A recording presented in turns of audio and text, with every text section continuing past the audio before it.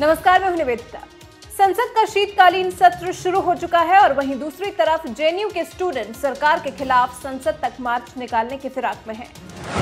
हालाँकि इसके लिए जेएनयू कॉलेज के बाहर धारा 144 को लागू कर दिया गया है साथ ही दिल्ली पुलिस भी इस मार्च को रोकने के लिए पूरी तरह मुस्तैद है।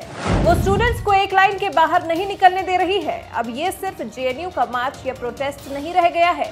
ये दिल्ली की अन्य यूनिवर्सिटीज का भी प्रोटेस्ट बन गया है, क्योंकि जेएनयू की अपील पर और भी कई यूनिवर्सिटीज के स्टूडेंट्स जेएनयू के इस प्रोटेस्ट में शामिल हुए हैं। एक अनुमान के मुताबिक जेएनयू के बाहर कम से कम 3000 से ज़्यादा स्टूडेंट्स मौजूद हैं और जो भी स्टूडेंट जरा सा भी माहौल खराब करता दिखाई दे रहा है उसे पुलिस उठाकर सीधा बस में भरकर ले जा रही है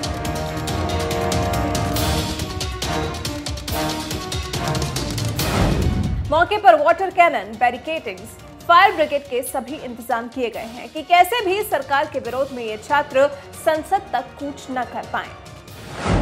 पहले तो दिल्ली पुलिस ने स्टूडेंट्स को जेएनयू के गेट पर ही रोकने की कोशिश की थी। हालाँकि स्टूडेंट्स अभी भी जेएनयू गेट से ज़्यादा आगे नहीं निकल पाए हैं और पुलिस के मुताबिक वो स्टूडेंट्स को इससे आगे आने भी नहीं देगी। क्योंकि आज राजधानी दिल्ली में पीएम मोदी समेत तमाम मंत्रीगण, नेता, राजनेता सभी मौजूद हैं। ऐसे में दिल्ली पुलिस को राजधानी का लॉ एंड ऑर्डर मेंटेन करके रखना ही होगा।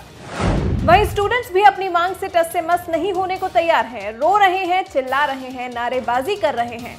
ढपली बजा रहे हैं बैरिकेड्स तोड़ रहे हैं अपना विरोध दर्ज करा रहे हैं। लेकिन अपनी मांगों को पूरा करने के लिए एकजुट हैं और पुरजोर तरीके से सरकार का विरोध कर रहे हैं।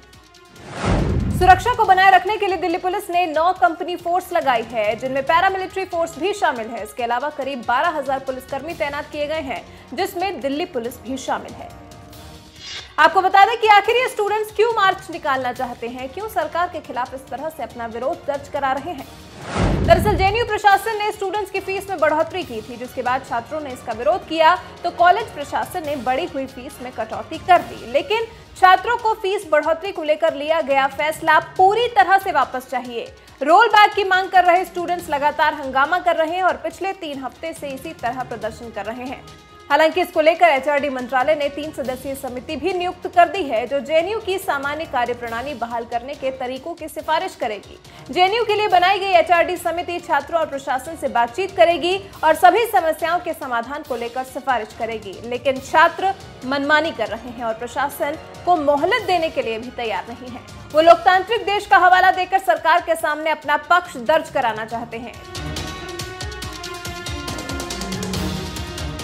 जेएनयू प्रशासन का कहना है कि विश्वविद्यालय के शैक्षणिक मानदंडों और अकेडमिक कैलेंडर का पालन करना छात्रों के हित में होगा, जिसके मुताबिक उन्हें 12 दिसंबर से शुरू होने वाली अंतिम सेमेस्टर परीक्षा में अनिवार्य रूप से शामिल होना होगा।